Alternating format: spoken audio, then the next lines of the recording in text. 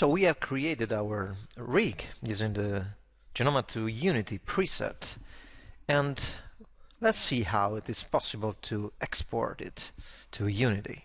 We can interchange data between Lightwave and Unity using the FBX format. So let's export the current scene in FBX. Since we're going to export just the rig with no animation, we don't need to check animations here or bake motion envelopes. But I want to change the name and to something like uh, Robot Kyle Unity or better Lightwave and save it. So we are now in Unity 5. We have our main camera, the directional light, very similar to what we have in layout when we open it. And we're ready to import our character as an asset. If you want to learn how to use Unity, there are some fantastic tutorials on the official website. I'm going to create a new folder. Lightwave to Unity tutorial and I'll import the rig as a new asset here. So Robot Kyle LWFBX. We can see the preview of the object here and we can define which kind of rig we want to assign. In this case we want the animation type to be set to humanoid since we're dealing with a human-like character and model. And once we're done with that, we can hit the configure button. We can apply the changes without problems and see how all the different elements composing the human body have been recognized correctly.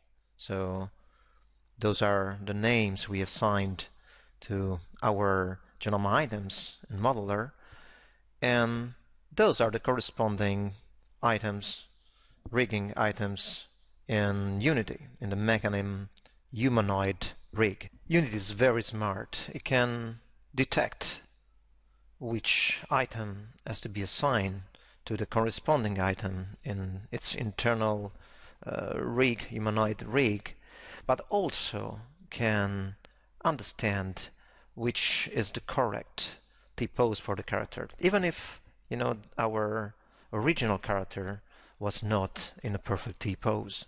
If we click on muscles, we can also test some poses and animation using those sliders. This is a very important test to perform so we we can be sure that our rig is going to work perfectly with the animations and motion capture data animation we can find in Unity. So we're finally done with that. We can drag our asset again in the scene and assign and test some motion capture animation. To be able to do that, we need to create what in Unity is called an animation controller. So let's click on Robot Kyle LW and we can see there's no uh, animation controller assigned. We need to create one. So create animation controller.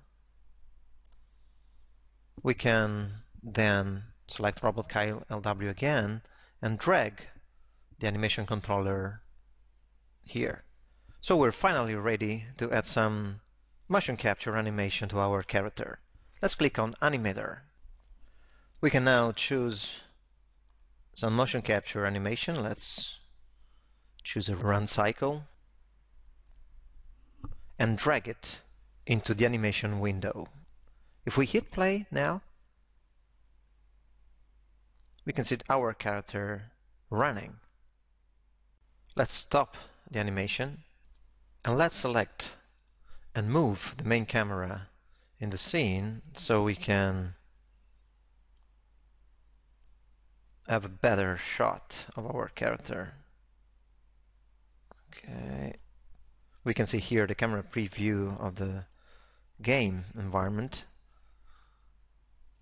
So let's move it a little bit like this. Maybe we can rotate the camera this way. And we can also, of course, parent the camera to the object. So let's hit play again. And now the camera is parented to the character, so it's following its movement. We can also add some other animation. So let's add a jump, like uh, this one. We can make a transition. Let's hit play again to see the final result. Now we have added another animation. We can also, why not clone the first clip we added to the scene and make another transition, hit play. Now we have a run, a jump, and a run again. Lightwave 2015 and Unity really work very well together thanks to the very good FBX interchange file format we can find in Lightwave. The Genoma to Unity preset makes creating and exporting a Lightwave character rig something really easy and immediate, and it can be expanded according to the user need. We're waiting for your feedback about it so we can further improve it. Thanks for watching.